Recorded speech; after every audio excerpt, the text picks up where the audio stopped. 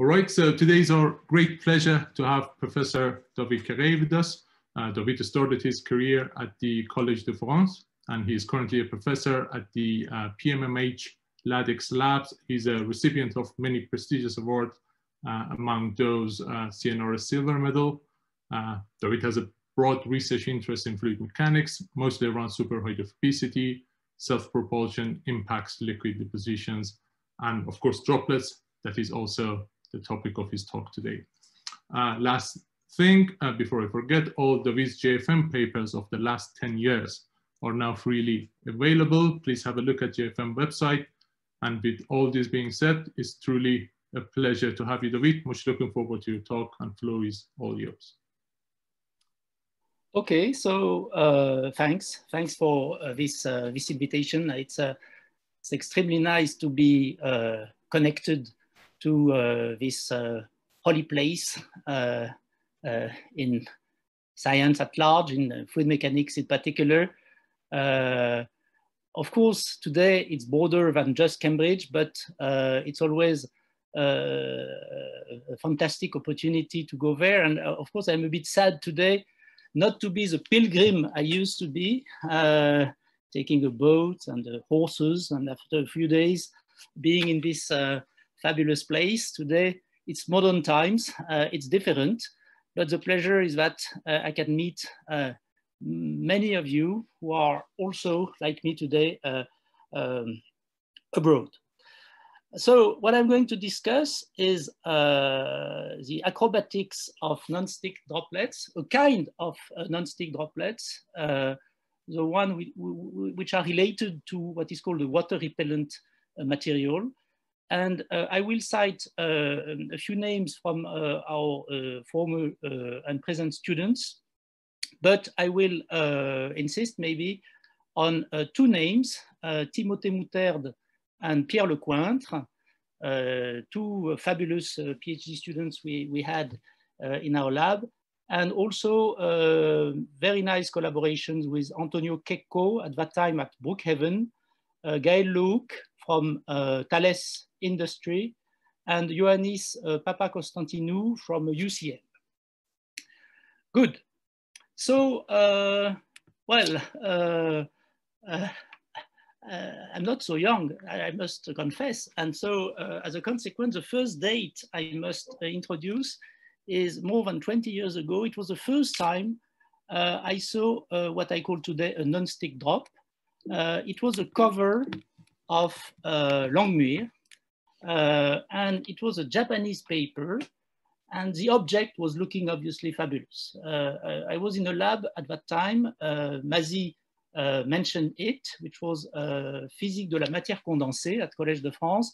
And every, everybody there was inter were interested in mainly in uh, creeping flows, spreading drops, liquids very close to solids at a molecular scales and so on. And suddenly we had a completely different uh, object, which was the opposite object. Instead of having a wetting object, we had a nearly pure non-wetting object, something that I liked immediately to call a pearl.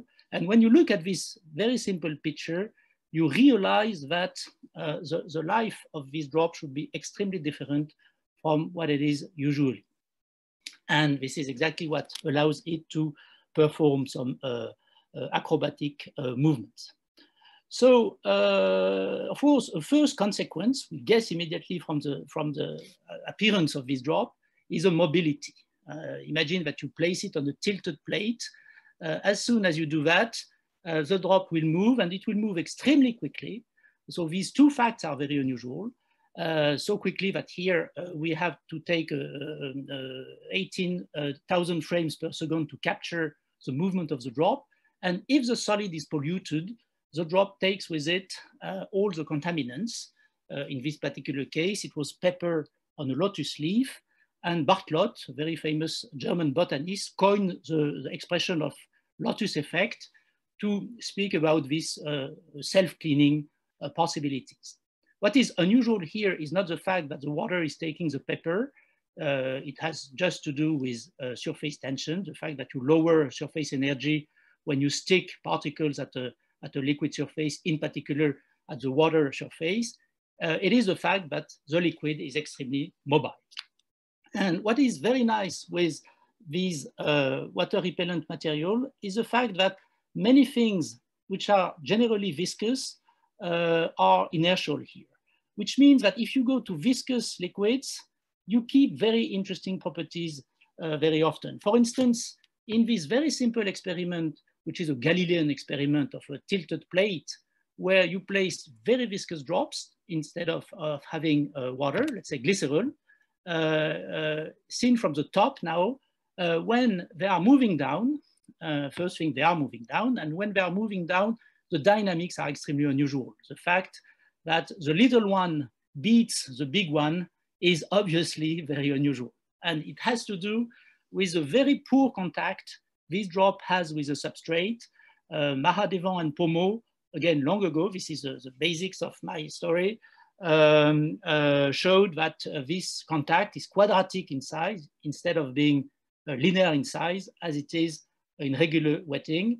And this non-linearity generates um, this uh, extremely curious thing that little objects move faster in the viscous limit, which is absolutely remarkable. When you go to viscous limit, of course, you expect that the reduction in size uh, should be dramatic in the sense that the viscous effect should be uh, more and more dominant. And this is not uh, exactly what is observed, as you could see.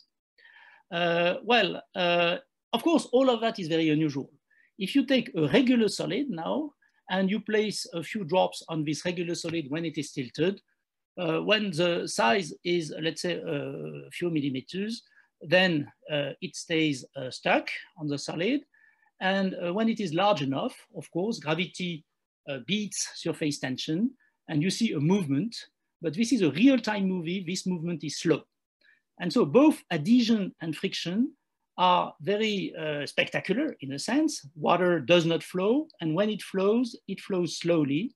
And all of that has to do with contact line. The fact that we have a contact line which can pin on the defect of the solid on the one hand, and the fact that we have a special uh, viscous dissipation close to the contact line when the liquid is moving, which enhances the classical uh, viscous friction so that uh, the liquid uh, is slow in this particular case, uh, one centimeter per second instead of, let's say, one meter per second for a river on a slope which is comparable. So we have, of course, uh, very special effects related to the contact line. And very naively, uh, when we are facing uh, this very beautiful liquid pearl, we can say to the first order, well, we suppress the contact line, so we expect very unusual things, very uh, highly reduced adhesion, and a highly reduced uh, friction. So how can we make these objects?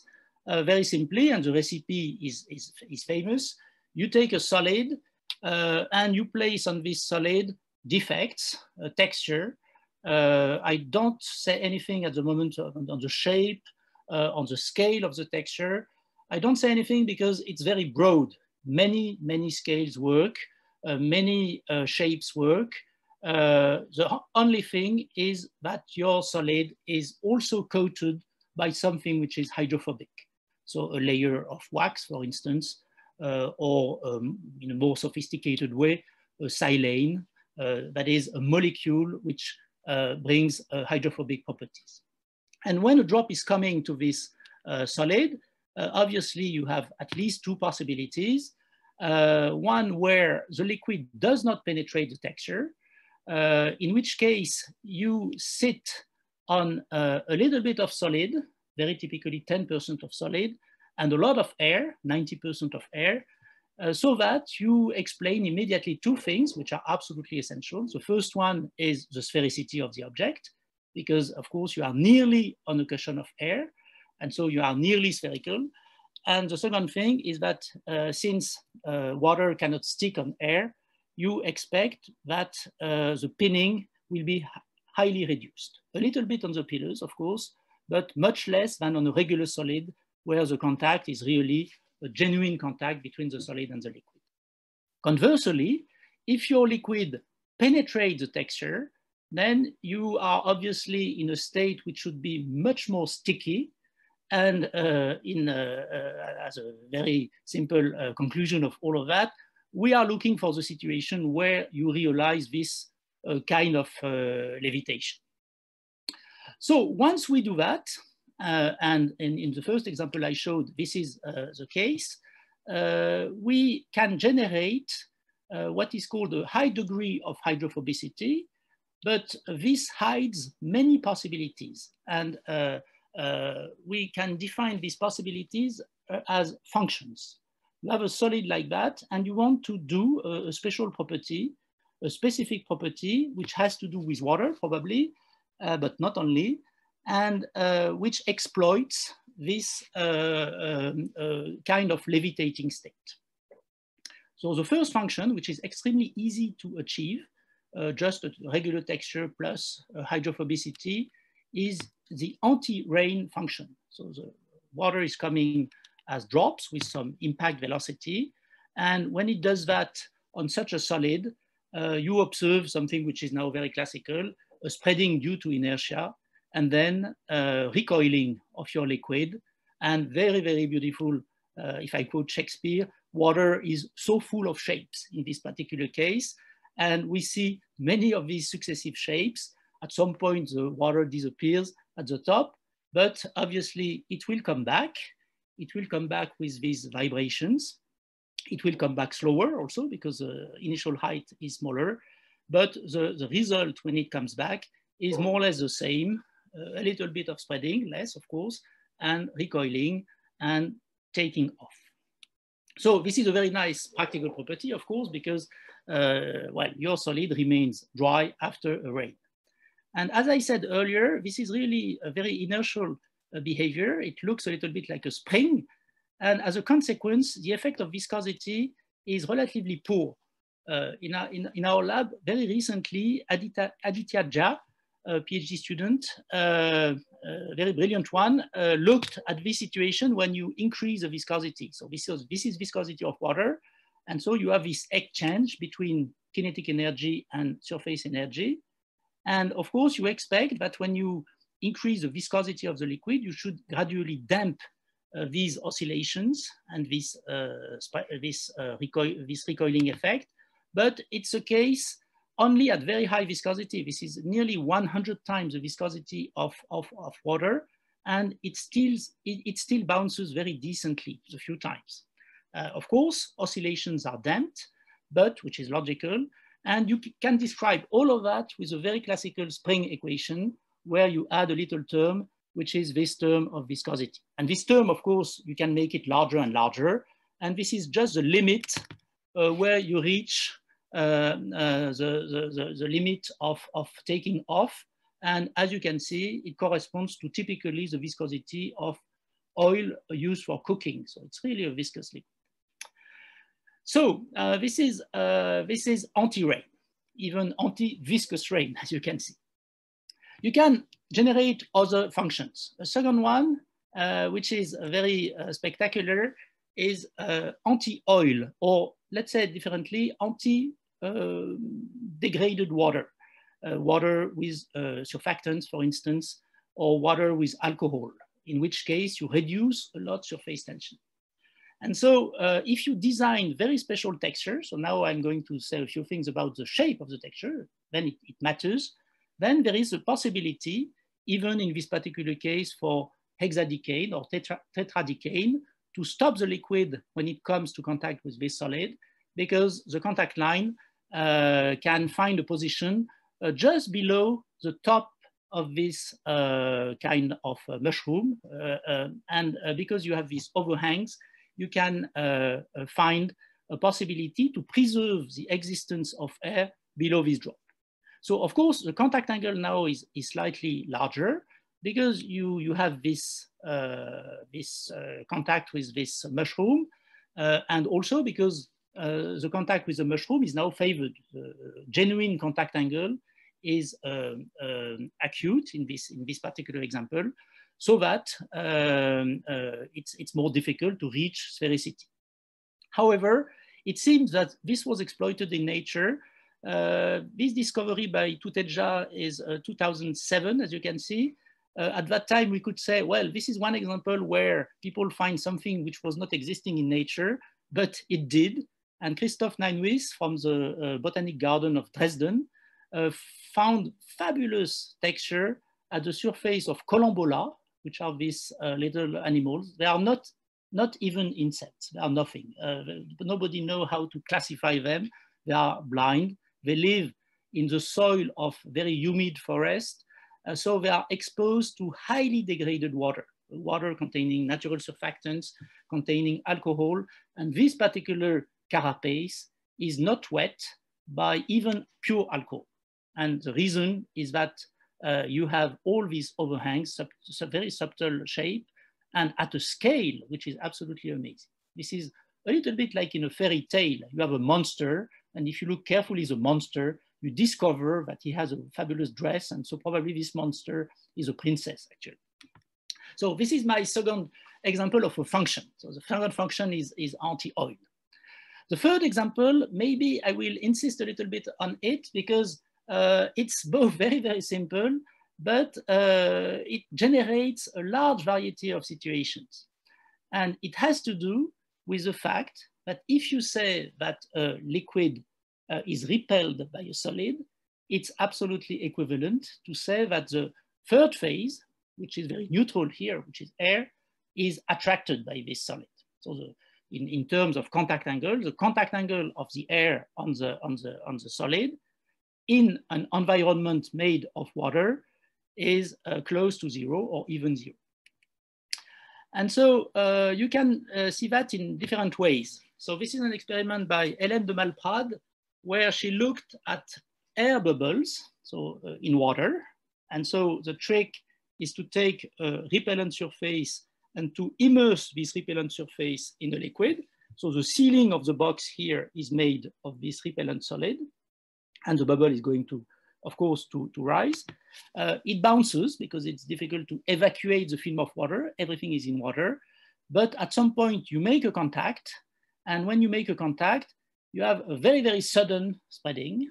And uh, the spreading is not a surprise. We could predict that. But the kinetics of this spreading is very unusual. It's extremely fast. At the scale, which is here of one centimeter, uh, the kinetic of spreading is, uh, uh, or the typical time scale is 10 milliseconds. And so it's three or four orders of magnitude smaller than the reverse situation of water spreading on a solid. And the reason is relatively obvious, we could say. It has to do with the fact that the viscosity of air, of course, is very small compared to that of water. There is a factor of 100. And so as a consequence, uh, the friction here is not limited by viscosity as it is generally in a spreading phenomenon, but by the fact that you have to displace the water which is around. So this is one first example. And uh, this is also exploited in nature. You have many insects or spiders uh, who, uh, I don't know which, they or that, I don't know how to say that in English, but they, they hide in, in water when they want to escape a predator. And they are coated by uh, uh, um, a carapace, which is uh, water repellent. And as a consequence, when they enter uh, water, they are uh, surrounded by a plastron of air and they can uh, find oxygen for, let's say, 20 minutes typically uh, before uh, going out of the, of the pond where they are hiding. So this, uh, of course, raise, um, raises a very interesting question, which is when an object is immersed in water, it takes with it air, and uh, this is, of course, extremely reminiscent of the famous Landau-Levich uh, coating device, except that everything is upside down.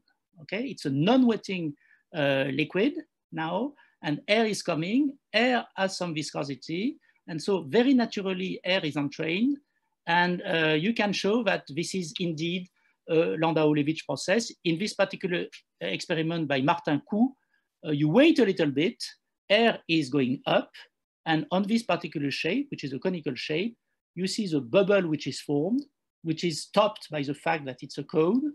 And so as a consequence, you can analy analyze the volume of this air bubble and deduce the thickness of the film. And so you can really describe uh, the things uh, in a quantitative way. But uh, I should uh, rather stress here the fact that, uh, again, uh, this is very nicely exploited in, uh, in nature. A third example of this aerophilicity, the fact that these surfaces are aerophilic when uh, they are um, uh, underwater, uh, was found recently uh, at MIT by Bourrianne and Panchanathan. They did a very, very clever experiment, which consists of depositing on, on these repellent surfaces water, so everything is fine, except that this water is sparkling water. So it contains uh, gas, which is carbon dioxide in this particular case. And of course, the question is uh, what's, what's happening. In particular, you have two contradictory effects. On the one hand, these uh, little bubbles want to rise because of buoyancy. But if they contact the solid, they should spread on the solid. And indeed, uh, these drops are found to be levitating because you build a cushion of vapor below, which corresponds to the spreading of this carbon dioxide. And it's very visible that they are levitating. They are extremely mobile without any, any particular action. And you can even see colors here, which have to do with the fact that this layer uh, of gas is extremely thin. And they could, they could prove that in a very, very elegant way by taking a transparent superhydrophobic surface and looking from below. And so when the liquid is coming, you see beautiful fringes. And so you see the film of air. You can deduce the thickness of the film of air. And this movie is accelerated. And after some time, of course, you, you do not have any more gas. The gas is evacuated by the weight of the liquid. And so at some point, uh, the uh, contact is restored between this uh, levitating liquid and, and the solid. And then you build something which is a classical drop of water on a very hydrophobic solid, which you cannot guess from here because this is seen from below. Uh, but the reason is that there is no more any, any gas in your, in your liquid. So this is very reminiscent of the Leidenfrost effect, except that the levitation is not induced by the temperature of the substrate, but by the gas it contains. And because this gas is spreading on, on, on these kind of solids, then you can uh, generate this uh, very uh, clever thing. A final example on this very uh, high degree of aerophilicity uh, is provided by this uh, beautiful example taking from the research of David Hu at Georgia Tech. he is interested in ants and in particular in the way ants are uh, trying to, uh, to survive when there is a big flood, you know, typically on the Amazon River, for instance. And so they make a ball uh, with their bodies. And so this is a ball of ant on water. And it's not the Amazon River, it's, it's in Atlanta, it's in the lab of David Hu. Uh, but uh, you see that they are textured and the fact that they are all together, they are very textured and so they are very repellent and clearly they are aerophilic, which is a very nice thing in this particular case. And you can see below, you see it's shining because even under this pressure, uh, clearly uh, uh, it resists. By the way, uh, some clever ants here realize that there is a dry channel and so they don't only trust that the collective effect is, uh, is, is uh, the only solution and they, they are escaping. So this uh, aerophilicity is a nice thing. And uh, I think that uh, we should also have some interesting uh, uh, stories about that. Some people, for instance, discuss this very interesting question of the friction of objects which are immersed in water plus a layer of, of air, which is relatively stable because of the material. Uh, and so how can you reduce the friction of this object when you move it in water? These are very beautiful questions, obviously. So I try to delay a little bit um, uh, the, the, the, moment when I come to my main topic, because generally when we, uh, we uh, scientists come to our main topic, uh, it is the beginning of the boring part of a seminar. Uh, and in this particular case, uh, it has to do with the fourth function I would like to discuss, which is the anti-fogging effect.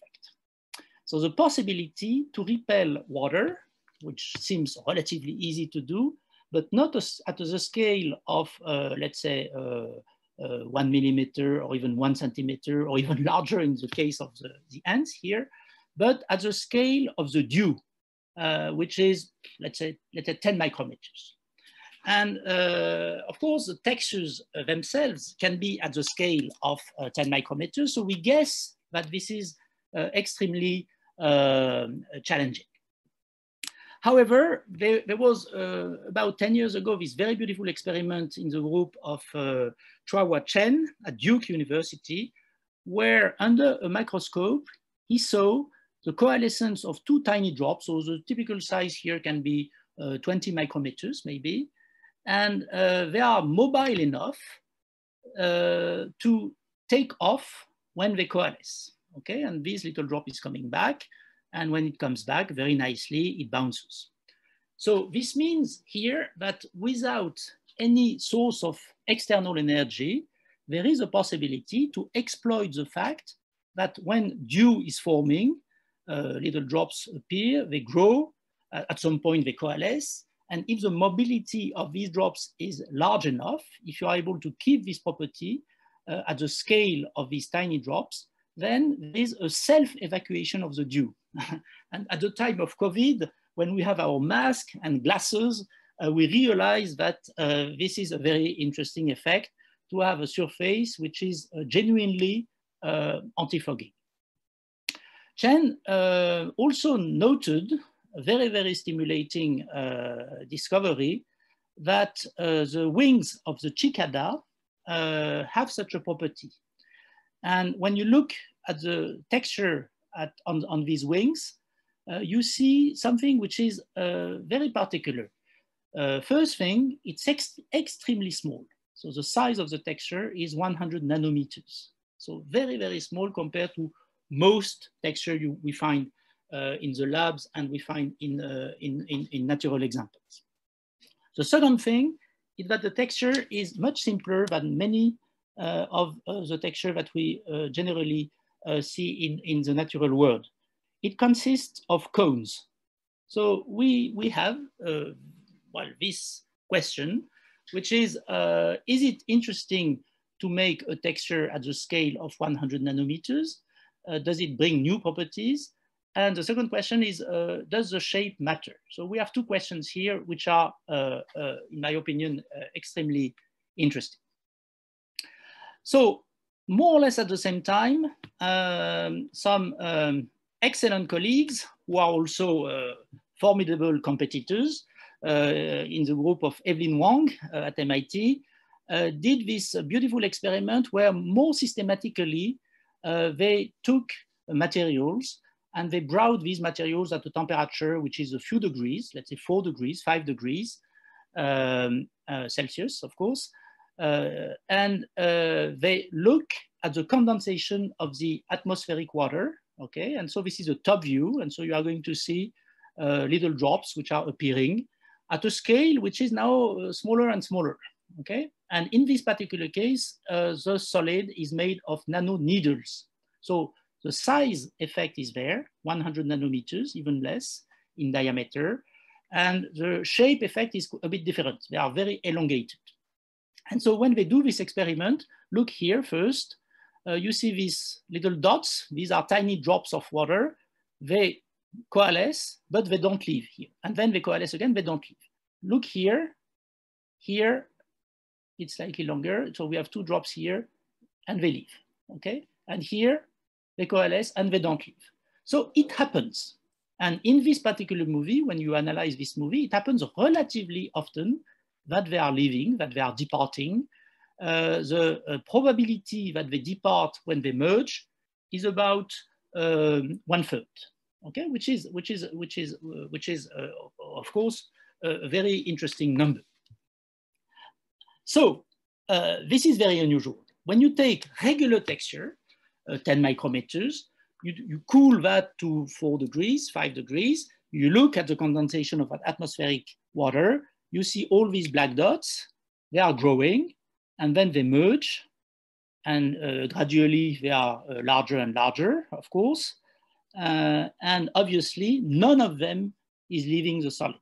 So this is the usual case, of course. This is a case uh, we are used. Even in a case of a, a water repellent material, uh, which is a regular one. Uh, the scale of the texture and the, the shape of the texture are regular ones.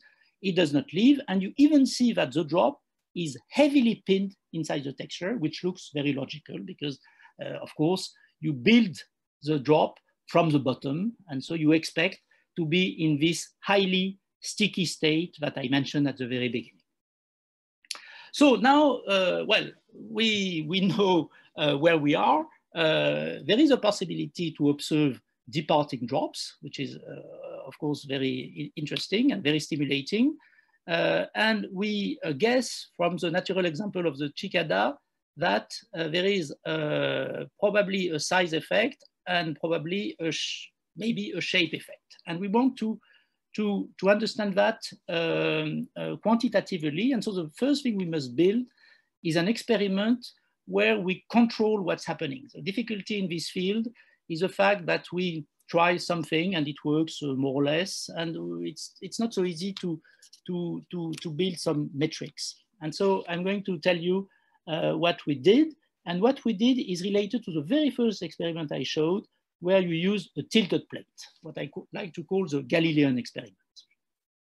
So what Timothée Mouterde did is to take a tilted plate like this, and you deposit a drop, and this plate is made of a very hydrophobic material.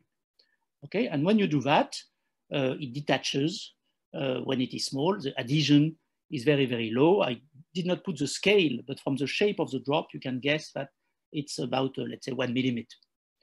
And then the control parameter you have to make dew is the temperature of the drop. And so I call delta T the difference of temperature between the drop and the solid. So the solid is, let's say, at 20 degrees. And now I'm going to make a drop which is at 35 degrees. It's not a big difference.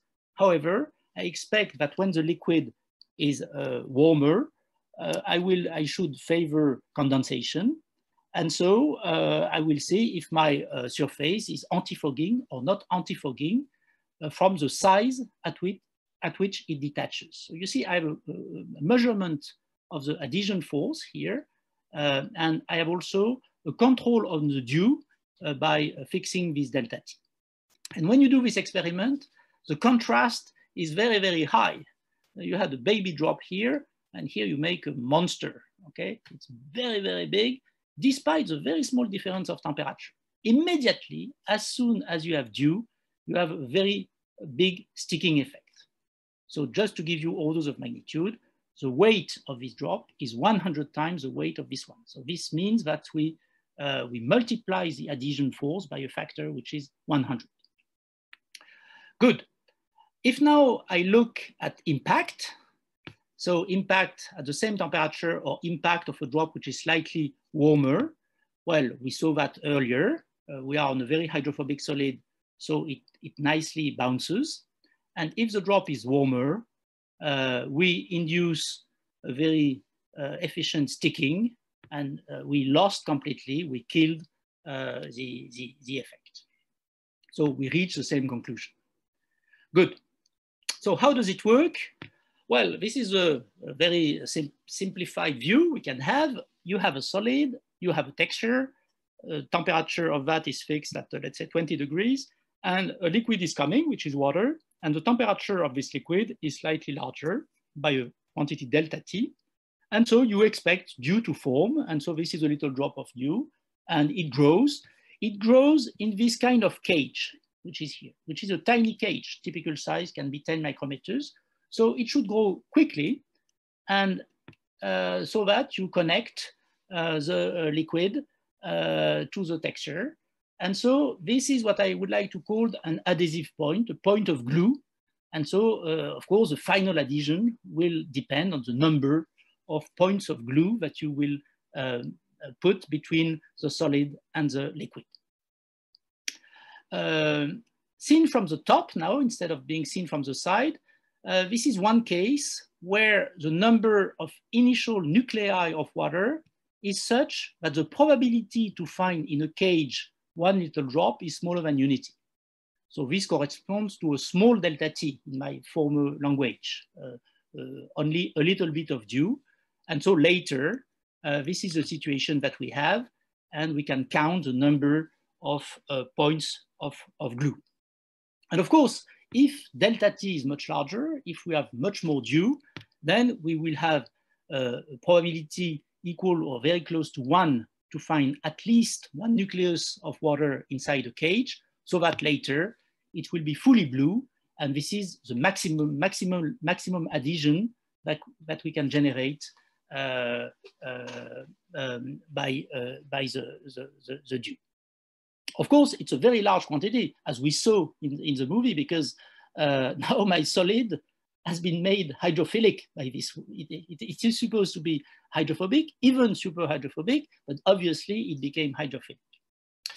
So uh, again, back to the side, we can say very, very simple things. We start with some density uh, uh, Uh, uh, of nucle nuclei, and this density should be uh, an increasing function of the intensity of the fog, which is delta t. Here I gave a very typical value, which might correspond to a delta, delta t of uh, 10 degrees maybe. These drops are not on a, on a, on a flat solid, they are on a textured solid, so in the little cages. And you will probably agree that if the typical size of the cage is L, the surface area of the cage is L square. Okay, and uh, well, L is the size, and we are looking for a size effect. So uh, we, we, guess that the fact that uh, uh very naturally L square enters uh, might imply a big effect of the size. Indeed, if we multiply uh, D by A, we get the probability P to find a nucleus in a cage. Um, and uh, d is a function of delta t. So a small delta t p should be smaller than unity. And uh, uh, of course, this increases with uh, delta t. And so from that, later we made the what I call the points of glue okay? And we can evaluate in a very, very rough way. I'm sorry for people who would be a bit delicate uh, from the, uh, very sensitive to the uh, detail of a model. We just say that the adhesion force is surface tension times a fraction of the perimeter that meets a point of glue. And so uh, this is just PR, but what I just want to mention is two things which are very important. The first thing is that we expect but it depends on the intensity of the fog, because if delta t is larger, p is larger, and so f is larger, more adhesion, first thing. But we mainly expect a size effect. Um, it's, it's embarrassingly simple. The fact that we have L square here, and so f, uh, when we decrease L, should decrease a lot. Okay, so we expect an anti-fogging effect, and the reason, the physical reason, is a miniaturization of the cages the cages are, are smaller and smaller. And so as a consequence, we should reduce the adhesion. And so this is something, of course, we can check. So previously, I showed you a texture where L was one micrometer, okay? And now there is a factor 10, which is a factor 100 on, on, on L squared. And so it's a, it's a big difference. And so we look at the rebound of two drops, which are uh, warmer than the, than the solid. And uh, on the right, uh, as we saw earlier, it sticks. On the left, when everything is the same except the size of the, of the, of the texture, it bounces. Okay, so uh, we have here a way to repel hot water, you can say, uh, or to minimize the uh, fogging effect uh, because we reduce the size of the, of the texture. And so this is the first way to understand that the size matters. We can see that also on the uh, other experiment uh, there is a comparison here between the texture which is 100 nanometers in size and the texture which is one micrometer in size. Okay, and so uh, this is something uh, we saw earlier, and you see there is no difference between the two movies. So the water repellency uh, does not depend really on the size of the, of the material. But now the drop is, is warmer, and you remember here it was a monster drop, and here it detaches very, very easily if you look very carefully, you will notice that this drop is slightly larger than this one. So there is uh, obviously some fog. There is obviously a little bit of adhesion, but uh, it's relatively marginal compared to the case which is here. And so you can measure this adhesion induced by the dew as a function of delta t. And when you do that, very naturally, you find that this force of adhesion increases with delta t because of course when you increase delta t you have more and more uh, points of glue and so you increase the adhesion. So this is made on these nanopillars, 100 nanometers, but there is now the shape effect. You remember we said maybe there is a size effect but we could also think of a, of a shape effect.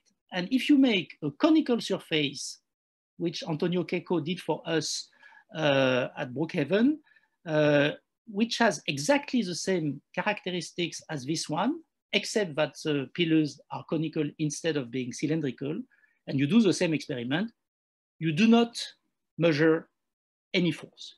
Uh, at least the, the, the, device we have is not sensitive enough to, to report any increase of adhesion. So it means that you have two successive effects. The size effect is an interesting one, but you amplify a lot this size effect by a shape effect. And the explanation we could have for that is uh, maybe a bit naive, but uh, it's natural.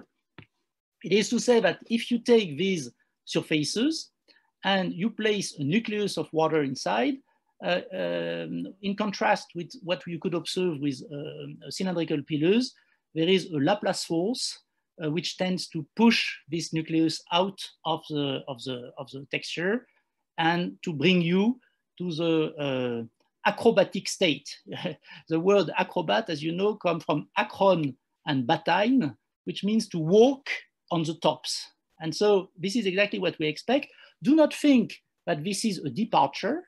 Uh, we are at a scale which is such so small that you expect everything to be very viscous but the size is very small, so everything is quick also, it's viscous, it's slow and quick uh, at the same time because the distances are very small, but you expect this nucleus to be at the top, and if you do that, you kill the idea of the points of glue, which is uh, exactly what we see. I would dream of seeing that, but you see the scale, the time scale makes all of that very difficult to do. The only thing you can do, uh, but uh, the result is interesting, is to take such a surface and to place this surface at four, five degrees, and to look at the condensation of the atmosphere, okay, the water from the atmosphere, but in a scanning uh, uh, electron microscope. And if you do that, you find something which is relatively, I think, extraordinary, which is that at a scale which is 10 micrometers, okay, or even less, all drops are quasi-spherical, okay? So this is fabulous because it means that indeed when you are on these nano-conical surfaces, then you generate something which seems to be a, very suspended state at a very small scale, which was a challenge, of course. The challenge was to, to, to, keep a very high degree of hydrophobicity at a scale where generally you do something which is a bit uh, discouraging. And when you look at that, of course, you are tempted to say, well, these drops should be very mobile. And so they grow, and when they coalesce, there is some hope to see them uh, taking, take, take off with a large uh, probability. And so this is a comparison between pillars and cones. It's a top view again. And so you are going to see these nuclei and they are growing and they are coalescing. And it's a comparison between these two nano textured surface where the only difference is the shape of the texture. And when you do that, the beginning looks relatively similar, Look on the, on the left, uh, you see they are coalescing and they make a bigger one. They never depart, okay? While here, it's somehow sparkling, we could say. Uh, and you see, if you look, nearly systematically, when two drops are coalescing, they leave. The probability of leaving after coalescence is 90%, okay? And the fact that it is 90% uh, has to do with the fact that you have asymmetric coalescences, a very little one joining a big one. And of course, it does not bring enough energy to make departure. If now you look at this probability with drops which have comparable sizes, then this probability for uh, two drops of the same size coalescing is nearly 100%. Uh, so it's amazingly efficient as an anti-fogging surface except if you reduce the size of the drops. When the size of the drop becomes on the order of 1.5 micrometers, then you kill the effect. And probably you kill the effect because there is a little bit of penetration of the liquid at this size inside the texture, and so you induce adhesion. This could be one reason. The other reason is that when you look at viscous effects, they should matter more or less at this scale. Okay? And you can vary quite extensively uh, the material. You have different data points here, but the curve is universal. H means, means homothetic. So you take the cones and you multiply the size by some factor, which can be up to two, and you find the same curve. E means extruded. So you keep the distance between pillars the same, and you make the cones longer and longer by a factor which is uh, three in this particular case. All the sizes being on the order of 100 nanometers. And you observe something which is universal. So uh, it means that you found probably here some kind of optimum in the anti-fogging uh, effect. And I would like to finish by looking at two little variations on that. So the first one is very natural. We saw a big difference, a big contrast between pillars and cones. And so there is something which is somehow intermediate between pillars and cones, which is a case of truncated cones, which can be done. And uh, Ioannis uh, Papakonstantinou provided very, very nice samples. Uh, he, he provided also the extruded ones in the previous slide, actually. Uh, but he, he was able to make truncated cones. And uh, these are very interesting objects because they have something of the cones. So for instance, what, what I said about the nucleus uh, should go out. However, there, there are some tops. And because you have tops, you have the possibility of pinning. So what's happening on that?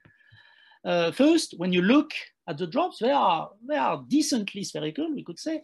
However, they, they have some contact now a little bit, okay? And so this has to do with the fact, of course, that uh, uh, we have tops, and so we have more interaction with the solid. We have pinning also, and when you look at the so-called contact angle hysteresis, it is 30 degrees instead of less than 10 degrees on the cones, and it's comparable to the contact angle hysteresis on the pillars. So this is a measurement of the adhesion. And when you look at the coalescence, there are some departures, but now the number, instead of being 90%, is 8%. So it looks very disappointing. However, it is not so disappointing. When you compare views, top views, you see a kind of paradox here. After some time, 30 minutes, yes, we can say that we have slightly larger drops on the truncated cones, but not, not at all like on the pillars. And the reason is that there is an anti-fogging effect, which is relatively efficient actually, but it's not exactly the same scenario. It has to do with the fact that when two drops are meeting, n equal to, this is the number of drops in a coalescence, we have a strictly zero departure rate. And this is a cause of the low, the poor performance, 8%. However, when we have three drops meeting, four drops meeting, then we have a high degree of departure. And we think that the reason is just the fact that uh, uh, you inject more energy. Of course, when you transform three, four drops in one drop, you uh, gain more surface energy than when you have only two drops. And so this might be the reason why suddenly they depart efficiently. And as a consequence, water does not accumulate uh, for a reason which is slightly different from what we saw earlier. And to finish, uh, second variation on these cones, we saw uh, that we had a size effect plus a shape effect. So now I keep the shape effect and I change the size. Okay, and this is something we constructed with Gaël Lehoucq from Thales uh, Industry. So they built for us fabulous samples where now the cones are, let's say, about one micrometer. And there is some variations, as you can see. The scale is the same, and so you have relatively large cones here, but very big cones at the scale of one micrometer. And so the question is, uh, now it's so large that do we still have antifogging? Uh, do we keep this uh, wonderful property? Said differently, does the shape, the conical shape, uh, so robust for the antifogging that we keep something or is it different? So the first thing you do is to do a direct observation. Uh, and so you, again, it's always the same experiment. You, you cool a little bit your surface, you look at the drops which are forming from the atmosphere. And what you find is something uh, which is uh, uh quite funny. Uh, and this was our first hope to say, now it's big enough that when we look, we see everything. In particular, we see below, and so we can see things that we could not see. So we use these cones as a magnification tool for seeing what's happening at the scale of the texture. But it seems that it's not exactly the same experiment. Changing the size seems to change the shape. And now we have something which is a little bit like a hot air balloon, okay? Uh, this is the, the, balloon part here, but we, we guess that there is here uh, the basket of the balloon, which is trapped inside the, the texture. And this, this is a very interesting object. You remember at the beginning, I said, well, we have two states, either uh, the acrobatic state, which is at the top of the texture, or the state which is inside, which is pinned. And here we have something which is both. Uh, we have the basket which is pinned, and we have the rest which is acrobatic. And so uh, what, what is the winner here? Uh, what, what, what's happening in particular when two drops uh, are coalescing? Well, when two drops are coalescing, and we look at the success of the part, so this is the performance of the antifogging material, the probability that two drops are leaving. The black points are the nanoscopic texture we saw, so fabulous texture. And the micrometric ones, as you can see, are, uh, are a bit different. Uh, when the drop is small, nothing happens. And when the drop is large enough, you can reach a very high degree of, of, of. And so now uh, the typical size at which you have a transition between nothing happens and nearly everybody departs uh, is uh, shifted. And this shift depends on the, on the size of the, of the texture. The size being here, the distance between the cones, but everything is homothetic. So you have only one distance in this particular case. So why is it like that? Well, we think because of the basket precisely. Uh, these, these are top views and uh, these drops are coalescing. So there is some energy to gain, which is energy, surface energy due to the coalescence of the balloons. However, after the depart, the departure, you see that something remains, which is a basket. The basket was pinned. And so you have to cut. You have to cut the basket from the balloon. And so it has a price which is related to the size of the cones. And so you immediately guess that it will jump only if the uh, negative term is larger than the positive term. And so uh, uh, it tells you that the size must be larger than, there is a mistake here, than something which is L, a few times L, which is the typical size of your, of your codes. So with this very modest equation, or inequation, which is even wrong because I did a mistake on the symbol here, I think uh, I can leave you and I would be very, very happy to take a, a few questions if you, if you have any. Thank you. Thank you so much, Louis, for the great talk. So uh, it's time for questions. So as always, if you have questions, please raise your hand in the uh, uh, in the chat. Or in... Yeah. No worries, sorry. Yeah, sorry, then what is it? No, no, I, I was saying that people can actually raise hand in the in the chat. Ah, okay. this is about, about the impossible love between an aquatic spider and um, a water strider. Um, one at the surface, one in the bulk, they cannot meet. So sad. Uh, it's related to the uh, viscous effect that you showed in the very early part of the talk. Mm -hmm three droplets with three different viscosity, but the behavior was pretty much the same. Uh, and basically the message I think was that the viscosity doesn't matter. Uh, is that the case? I mean, there should be some limit, right? I mean, when viscosity, I mean, asymptotically goes to, let's say, infinity, I mean, there should be a limit that viscosity begins to matter. So what is that limit?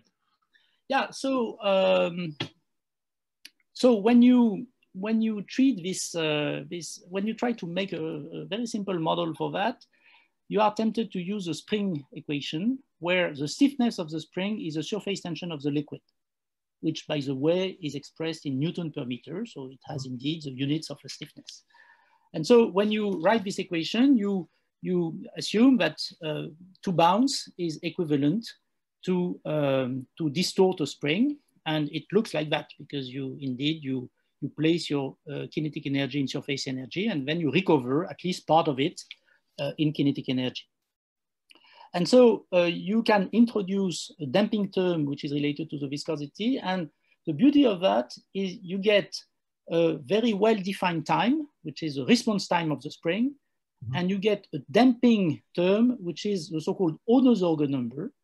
And so this Ohnesorge number, when everything is made without dimension, is mainly um, uh, tuned by the viscosity because the viscosity has a power one, in the Ohnesorge number, while the other parameters, which are surface tension, density, and uh, radius of the drop, has a power which is um, uh, one half only. And so, uh, as you said, uh, if you increase more and more the viscosity, you increase more and more the action of this damping term, and at some point it becomes a little bit like having a spring in honey, uh, it will not oscillate, okay? And so you can define and even model and even calculate the limit in, in, in viscosity. And when you, uh, when you do this very, very simple argument, you find that the limit in viscosity should be on the order of 200 millipascals, which is exactly what we see in this movie, where you see here, um, for this viscosity, uh, it nearly bounces, but we are clearly at the limit. And if you take a larger viscosity, then of course, nothing like that will happen. So there is a cutoff, which is very well defined. It is expressed here as a function of the viscosity. It could be expressed also as a function of the size of the drop, obviously. The smaller the size, of course, the larger the viscous effect. Have you looked into non-Newtonian fluids? Yes. Uh, a little bit. We, uh, well, I don't know. The question is very large because uh, I, I, I, showed many effects, so I don't know which one. If, it, if you think about the bouncing effect, for instance, some colleagues did that, and there are uh, very interesting effects. There are a lot of debates also, uh, in particular when you look at the effect of uh, long polymers, for instance. Uh, there is a very famous article by Vance Bergeron, published in 2000, so 20 years ago, where they see anti-bouncing effect when you, when you, when you use large um, polymeric molecules. This is uh, the effect is, is, is uh, absolutely uh, obvious, no doubt, but the interpretation of this effect 20 years after uh, is still under debate. And so, yeah, the question of, of uh, at large, I would say, the question of uh, non-Newtonian liquids is, is, is, is uh, extremely interesting. We, we hardly, uh, we, we, did not, we did not really perform any uh, significant experiments in this field, but I, am a big fan of people who did that. Okay. So the next question comes from Zach Kujala. for the case where you have bouncing droplets and the temperature difference, uh, do you think that having a surfactant in the liquid would prevent the dew drops from coalescing with, uh, with and gluing the bouncing drop? Uh, it's a it's a it's a very specialized question. So uh, the, the question is related to this experiment where you you do an impact with differences of temperature, and you remember when there is no difference of temperature, it nicely bounces when there is a difference of temperature. We induce adhesion because we think of the uh, little points of glue that we make. And so if now, in addition to that, we have a surfactant, the first question would be, uh, what is the effect of the surfactant in this case first? And this is a very interesting question because you, you deform a lot the, the liquid. And so two cases, either the surfactant can follow the deformation or it cannot. And so you can also induce sticking transition just due to the surfactant. And so now if you add surfactant plus temperature, I think uh, it's a bit early to answer. But uh, my feeling is that a surfactant does not prevent really evaporation. Uh, it, it decreases a little bit evaporation, but I think it should not prevent the formation of the dew. I see. Uh, Tim Pedley asks, can anti, uh, anti-fogging surface be made sufficiently robust for commercial uh, use? Yeah, it's a it's a painful question, and uh, I, uh, this is exactly what I expected from Tim. Uh, uh, uh, well, you saw the name of a company, so it's a good sign. They are interested in that, and uh, when you see the, how delicate are these cones, you can be very, very um, pessimistic about the fact that when you, we put our fingers on, on them, we should destroy everything. I, I would like to say two things. The first thing is that these conical surfaces, uh, these conical structures, at the scale where we consider them, which is uh, 50 nanometers, 100 nanometers, are not only anti-fogging and water repellent, they are also extraordinary anti-reflective. And so this is the reason why, the main reason why the cicada uh, coated its wings with these uh, uh, devices. It is to be as transparent as possible to hide on the trunks, okay? Uh, and so uh, the fact that you have this double functionality is, of course, another source of stimulation for the, um, uh, for the applications. So uh, there are cases where uh, we can be relatively optimistic uh, for very sophisticated devices which are not too exposed to uh, our fingers, for instance. Um, there are some prototypes and they are very promising, but these are very high added values products. Um, the fact that truncated cones have interesting anti-fogging effect is obviously a big step towards applications because them, they are very resistant, much more. And they are resistant for two reasons. First, because they are not sharp, this is obvious, but also because the, the size is very small. It's not so easy to destroy something which is at the size of 100 nanometers. Okay, so uh, I'm not fully pessimistic about applications. Uh, uh, of course, anti-reflective properties are, are not as good as the ones for elongated cones, but uh, maybe there is a possibility of a compromise. So um, there's one question from Shaoi Hu, uh, says, thanks a lot for the inspiring talk. What if inverse all the posts into holes? in that case, air will be trapped inside holes and wetting transition will be hindered. Yeah, so, um, so it's not easy to do that. Um, the reason is that uh, it's, a, it's a very good question, and and and uh, we thought a lot of we had a lot of hope in in in, in this in this kind of possibilities, but when you uh, when you come back to this very very first slide, maybe uh, where I had a very naive sketch. Um, where is it? Where you look at the texture. Yeah, this one. So to dig holes, uh, if you think of that geometrically, uh, it's extremely difficult to have here a solid fraction, what we call the solid fraction, which is the one which is actually in contact with the liquid, which I said maybe 10% very typically. Uh, it's very, very difficult to go to such a small number when you make holes. This fraction is much, much larger. And so as a consequence, these surfaces are uh, highly adhesive generally compared to these ones. Okay, so uh, holes, uh, but at some point there is some ambiguity. These are very, these are model textures. And now if you build uh, a texture which is very disordered with colloids, uh, which is a commercial product you can find, then uh, we can say that they are made of peaks, but we can also say that they are made of holes. They are even somehow porous and so then the, the, I agree that the holes uh, can be a kind of solution. So it depends a little bit on the, on the kind of texture you are looking at. See. Next question is from Jerome Neufeld. Uh, he asks, given how sensitive the pro properties are to temperature and to surface morphology, can you induce transport of droplets with either a gradient in temperature or surface texture, post spacing, geometry, etc.?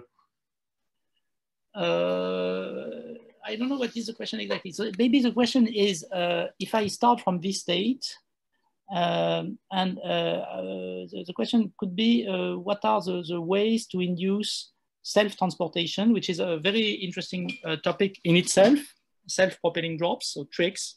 Um, and I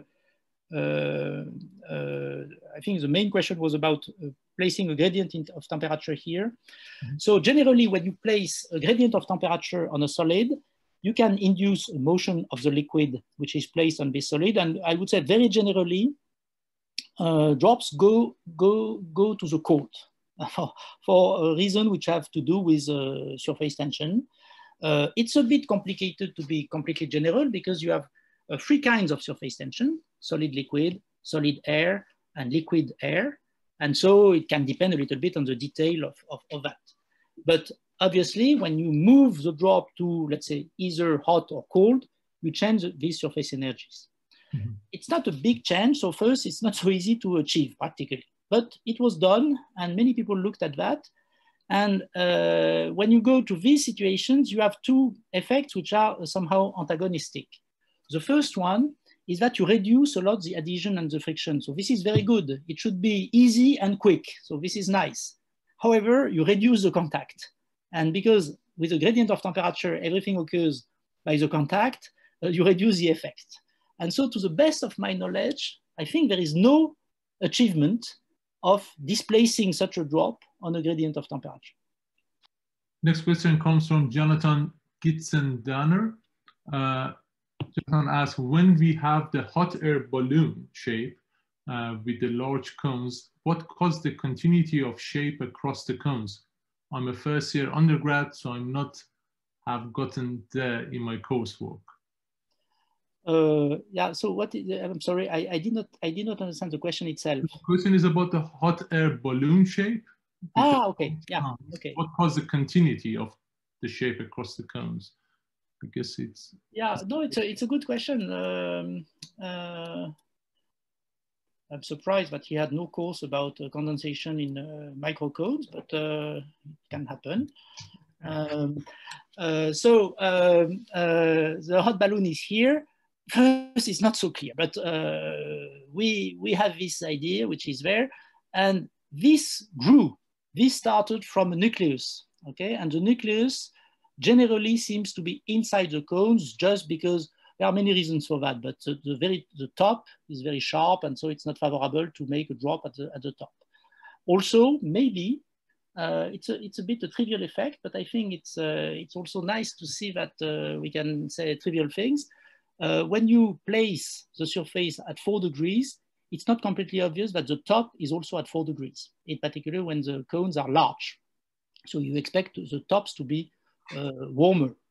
And so condensation is probably favored inside the cones. And so as a consequence, you expect the nucleus to be inside the cones, and from there it grows. So it's a balloon which starts from the basket, okay? The basket first, and so the balloon after. Uh, fortunately, the balloon, the hot air balloon did what we expect from a hot air balloon, as you remember, it, it went, it departed. Uh, but we keep the continuity because probably the size now is large, and so the sticking effect of the basket is, is, is large enough to keep the basket. So I have a little simulation here. The first time in my life I show a simulation because uh, this is a result, the sad result of confinement. We were forced with Krishan Bhuma to do simulation with surface evolver. And you are going to see a nucleus growing uh, in an assembly of cones and the nice thing is that you, you indeed, you generate the, the, the balloon thing. But the, uh, of course, the interesting fact is that this liquid does not go laterally. Okay, and the reason is that when you look at the energy to cross the boundary between the pillars, it's a, there is a serious penalty here. And so the natural way to escape is from the top, which is fortunate because of course, if we propagate the basket along the cones with many baskets now, uh, we will keep, of course, trapped these drops. If we want an anti-fogging effect, we must have either the drops at the top or let's say at most one basket. Perfect. I was a bit long, but uh, I think uh, I was so I'm so proud to show something which is a numerical. So it's a very simple thing, of course. But uh... fact, there was a questions in the chat from uh, Carlos uh, Escalante about the numerical simulations, and he asked if you could elaborate a bit on that. Carlos, if you have more questions on that, maybe write in the chat, and hopefully. Yeah, I saw a splendid simulation, so I'm very happy to say we did a lot of that. So no. This is a very good question because uh, simulations, uh, of, of course, are very useful at the scale that I considered. You see, the scale of these cones, which is 100 nanometers, uh, of course, remains supramolecular, but it's a very good scale for simulations. And uh, there are a lot of thoughts about uh, what is the effect of um, the, the, the shape of these objects just on the nucleation itself. For instance, there is a detail here which I, I find very interesting, which is the very beginning of this movie where we compare condensation of, on nanopillars and nanocones. Just the very beginning. Here, obviously, the density is much larger. And there is a factor which is a factor five. It's a big effect. So if I am very optimistic, I could say these surfaces are indeed fabulous because they, they have departure, but they have much less nucleus, which is a genuine antifogging effect. Of course, ideal case would be zero nucleus, but we have condensation, but much less than on the other uh, solid. And so the effect of the tip, uh, all of that should be explored. And um, I think that the simulations should bring a lot, and they did already. There are a few interesting thoughts about the effect of the top curvature, for instance, which is not favorable to condensation. So Joe asks uh, or says, thanks for the great talk. Is there any room for improvement for developing anti-fogging surfaces given the cone shape gives the best performance? I mean, if I interpret yeah, no, I, I understand the question. It's a, it's a, it's an embarrassing question because I, I, I would not like to claim that we, we, we, we by, by, nearly by accident, we found the, the best surface. This doesn't mean anything. I, I, would, maybe I would like to have a very general answer because uh, what, it, it, it's not a question of being the best surface or not. It's a question that when we look at the interaction of uh, uh, small drops with small texture, um, uh, there is a huge variety of things. And uh, what we explored is extremely small in a sense. Uh, it's a particular shape. And so because we have shape effects, we are very curious of developing other kinds of, of, of shapes to understand um, deeper the kind of effects, of course, beyond antifogging, that we, that, that we could generate. Uh, when we look at the texture in the natural world, for instance, we are amazed by the variety of these, of the shapes precisely. Uh, the, the, sizes also, but mostly the, the, the, shapes. I showed a few examples and uh, we need to understand that. So uh, uh beyond antifogging, uh, understanding the interaction of tiny drops with uh, even tinier uh, texture is, is, a, is a beautiful uh, program of research. Do you think this effect can be used for propulsion? Uh, propulsion of what? Yeah, I'm not sure which yeah. effect. But... It is propulsion, okay? Uh, when the drops are leaving, uh, maybe I have a movie somewhere. Pierre Lecointre did a movie of that. Uh, yeah, this is a movie of, so, ah, no, maybe, I don't know if it works no, it's an old uh, movie, maybe this one. No, it's not.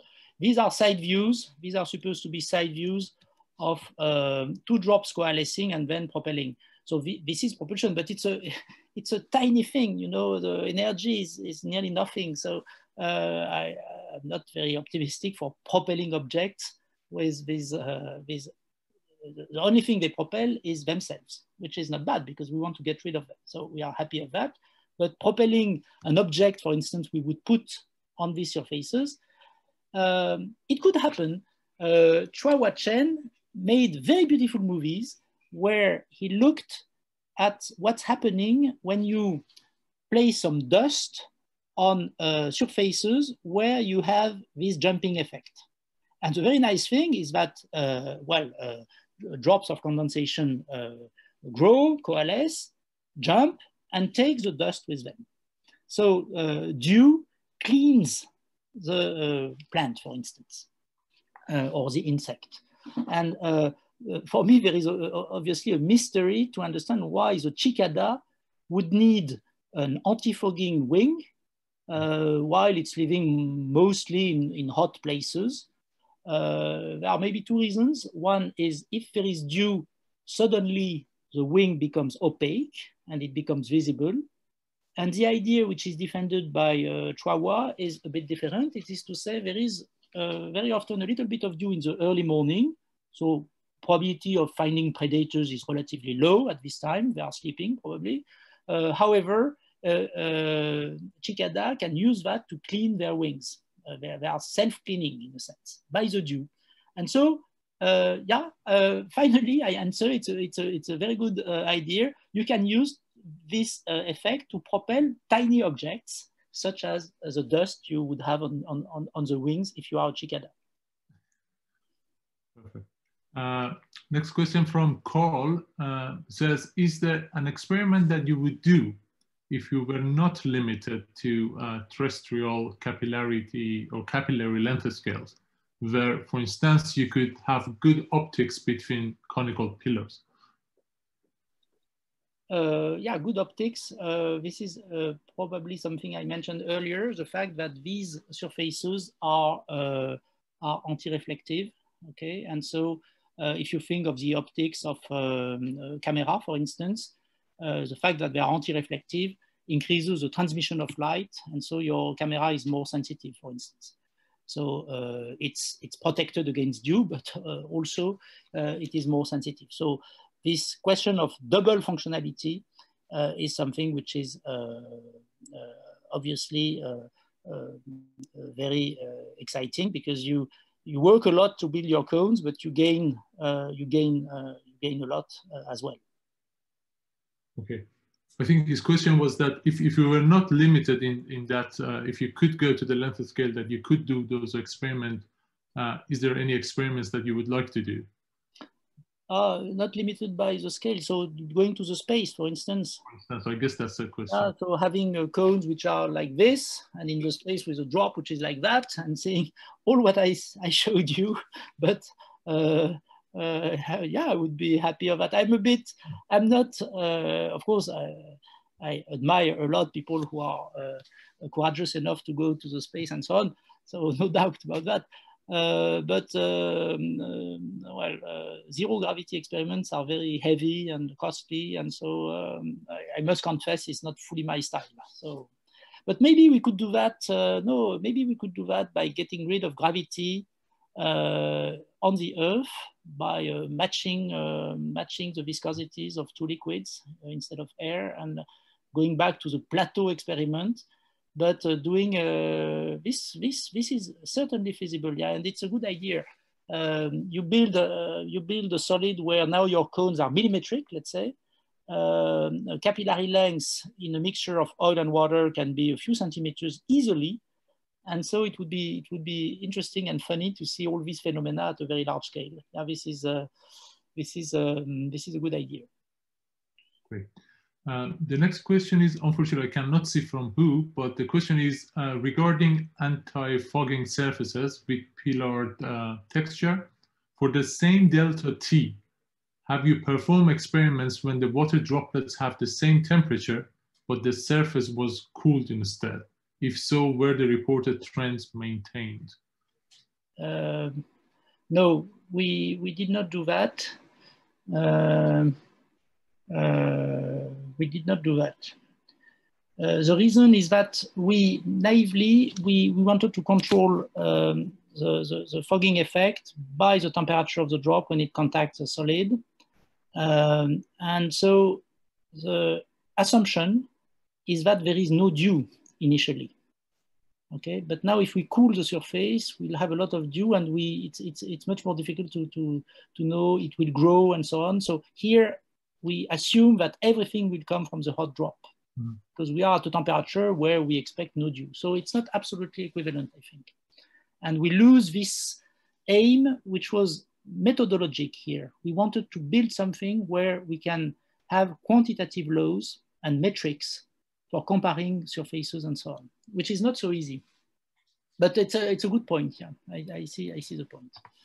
Thank you very much for the exciting talk considering the case when two droplets coalesce and jump off a surface, could the kinetic energy of the droplet motion when flying be associated with the difference between the total surface energy associated with the surface tension of the two droplets and the final single droplet after merging? Yeah, so it's a, it's a good point. Uh, this is something I did not discuss at all, which is uh, what is the velocity of taking off and what is the ballistics after, uh, which are very interesting questions, of course. Uh, if you want to get rid of the dew, uh, it's interesting to know uh, how fast you, and this has to do with this little picture. If you assume that your surface energy is fully transferred in kinetic energy, you find a law which is relatively trivial.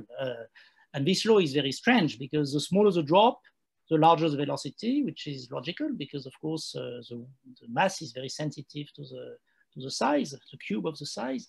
And so you are not fully surprised of that, but we are not used to the fact that objects are quicker when they are small, in particular when they are very small, because viscosity in principle um, says the contrary.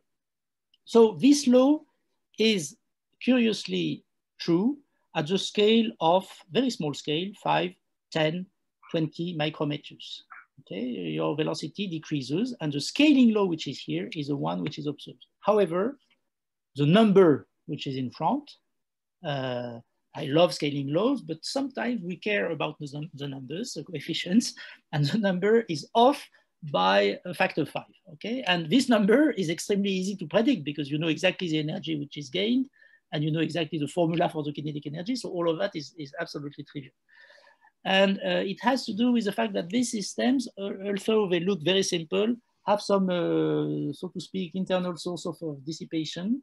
And so uh, it's not absolutely equivalent to apply uh, conservation of energy, as I did here naively, and conservation of momentum. And when you, when you apply conserva conservation of momentum, uh, which Pierre Lecointre and Timothée Mouterde did, um, you find the proper coefficient, which is 0.2 instead of being one, uh, uh, around one when it's uh, conservation of energy.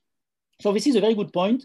There is some subtlety if you want to understand uh, what is uh, the speed of, uh, of taking off in the model and just saying conservation of energy is not enough. Thanks for the interesting talk. What is your take on fog capture through engineered wettability gradient surfaces and how far can it be commercially viable? Uh, so Manoj Chaudhury in Lehigh, at Lehigh, did a lot on that, and he, he, he performed wonderful experiments where you you you you capture. Uh, so I, uh, maybe I could say more generally, here I insisted on a strategy which is to get rid of the dew as it forms. Okay, but there is another possibility which is completely different, which is to guide the dew and to uh, to uh, accumulate the dew. Uh, and if you do that, at some point, you will make drops which are so large that they will go uh, by gravity, for instance. Okay, so what uh, Manoj did was to build um, gradients of uh, hydrophilicity, and so the drop will move independently of gravity uh, at the scale of these dewdrops. So this is nearly obvious to regions which are more hydrophilic. And so uh, these are obviously very, very clever uh, experiments. Uh, if I had to bet on what could be the best strategy to get rid of dew, I don't know. There is a very, very trivial strategy, which is completely different. And you can think of that in a car, for instance, which is to have a solid uh, which is uh, extremely hydrophilic. Then your liquid is coming and it spreads completely and you don't care about it because after all the quantity of liquid is, is, a, is a very small quantity. You can think of a polymer, for instance, that you place on, on, on the surface and it swells a little bit because of, of this water and this, this works wonderfully. And so it's more a chemical approach, uh, which is, uh, I think in some cases, a perfect one. Uh, it's about the movie you showed at the very end. And he's asking which movie of Miyazaki is that one? yeah, so Miyazaki, uh, uh, we many of us we we know we know him. Uh, many of us we are big fan of, of, of, him, and he made a very very small movie. So it's not it's not a well known movie by Miyazaki. Uh, and my former PhD student Raphaël Thévenin uh, found this little movie, which is a few minutes only, uh, and it's about the impossible love between the um, Argyroneta aquatica uh, which is this uh, spider which takes big bubbles at the surface of, of, of, of ponds to build a nest of air uh, underwater and, and, uh, and, and the Gerris, and the Gerris of water strider. And uh, of course, one is using, uh, from my point of view, aerophilicity, and the other one, the water strider, has these legs which are very hydrophobic and it turns out that the legs are decorated with cones precisely. So this is one example, and another example where we find cones at the surface. And I think that these cones are designed to be anti-fogging because uh, at the surface of a pond, of course, you have a lot of vapor, okay? And if by accident you start to condense the, uh, the vapor in the legs, your legs becomes hydrophilic. So uh, this is maybe very sad for the water strider, but the end of the story for Miyazaki could be different because now your water strider is hydrophilic, so it sinks. Unfortunately, it finds the air nest built by Argyroneta and they can live forever uh, in this uh, paradise.